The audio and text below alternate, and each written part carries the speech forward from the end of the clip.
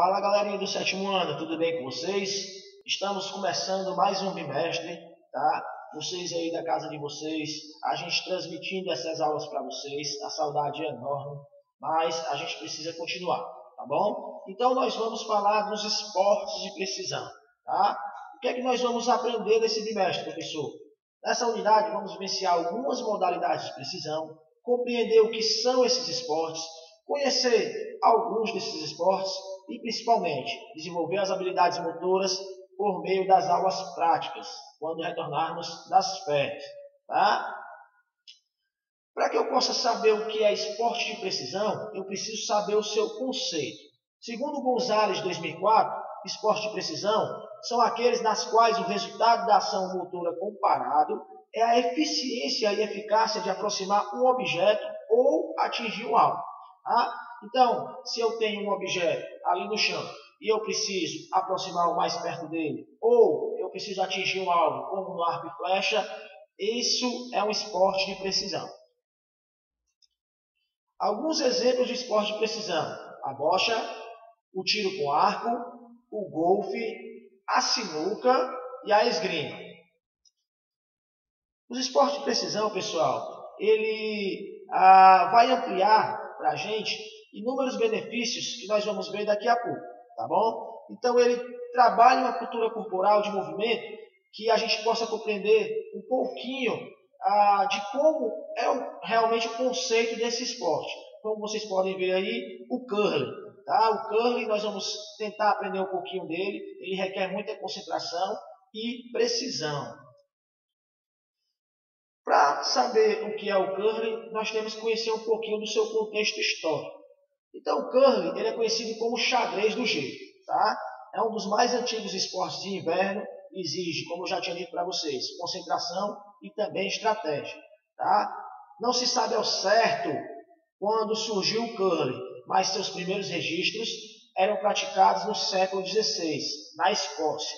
E devido aos lados estarem sempre congelados e pedras ao redor, eles começaram a desenvolver a, através de brincadeiras, jogar pedras o mais, mais próximos uma das outras. Como vocês podem ver aí nessa ilustração, tá? várias pessoas num lago de gelo jogando pedras com vassouras na mão.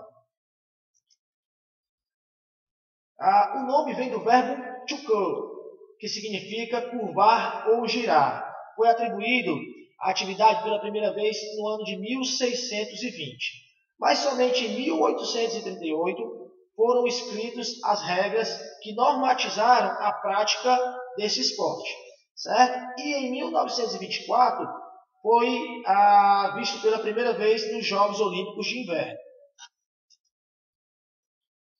E aí, pessoal, nós vamos conhecer um pouquinho ah, dos fundamentos e das regras dos esportes de precisão, no caso do curling. Aí vocês podem, tá, vocês podem ver na ilustração a pista.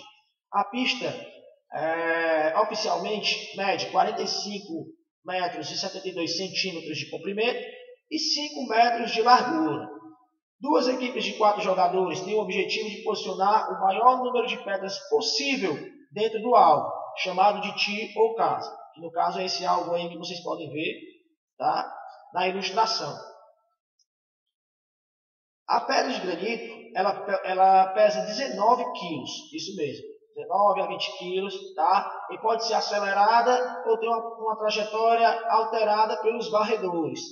Tá vendo aí o exemplozinho aí na imagem? Todos esses homens aí ficam com a vassourinha na mão, varrendo o gelo, tá? Podendo assim desviar a trajetória da pedra, tá bom?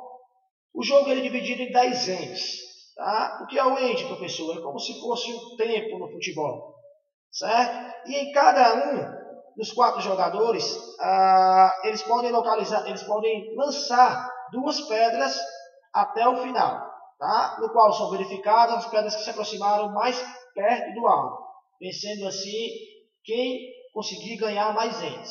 A pontuação é somada em cada end e no final dos 10 ends tem a possibilidade de um empate.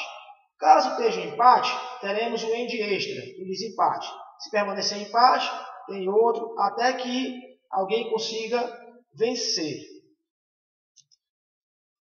E existem vários tipos de lançamento, pessoal. Nós temos o draw, que consiste em jogar a pedra em direção ao tee, ao alvo, certo? Nós temos o take out, que é um lançamento com a intenção de tirar uma pedra adversária da sua posição, ou seja, tem uma pedra adversária lá próxima ao alvo e eu preciso afastar a pedra dele. Então eu uso a, a minha pedra para poder acertar a pedra adversária. Isso pode, professor? Sim, isso é permitido. Nós temos o guarde, uma pedra lançada para formar uma barreira, ou seja, tem uma pedra minha lá dentro do alvo, eu vou colocar uma pedra na frente para justamente evitar o take out, que é o que? A jogada da pedra adversária, bater na minha pedra e tirar do centro do alvo. Nós temos o raise, que tem como objetivo acertar uma própria pedra e colocá-la na melhor posição. Ou seja, tipo fazer uma tabelinha. Acertei na minha pedra para que ela possa chegar até o alvo. Nós temos o hit and roll, que visa acertar uma pedra adversária para que esta, por sua vez, acerte outra pedra.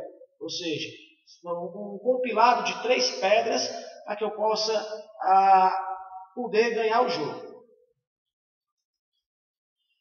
E nós temos alguns benefícios específicos para quem pratica esportes de precisão, pessoal. No caso, para quem pratica o curling. Quanto ao benefício físico, esse desporto melhora a nossa resistência muscular, o equilíbrio, o condicionamento cardiovascular e faz com que fizemos, ah, fiquemos mais fortes e diminui também a pressão arterial. Pode ser praticado por pessoas de qualquer idade e por pessoas que estejam em cadeiras de roda, ou seja, é um esporte que também pratica a sua inclusão. Ele é muito praticado por pessoas cadeirantes. Não é necessário ser muito forte, pois também requer estratégia. E os nossos níveis de concentração aumentam, pois a concentração é um dos, um dos pontos chaves para a vitória. E aí eu vou deixar esse linkzinho aí para vocês, ou vocês mesmos podem estar pesquisando no YouTube, tá? O esporte curling, certo? Nesse link aí vocês vão ver uma disputa entre dois países nos Jogos Olímpicos de Inverno.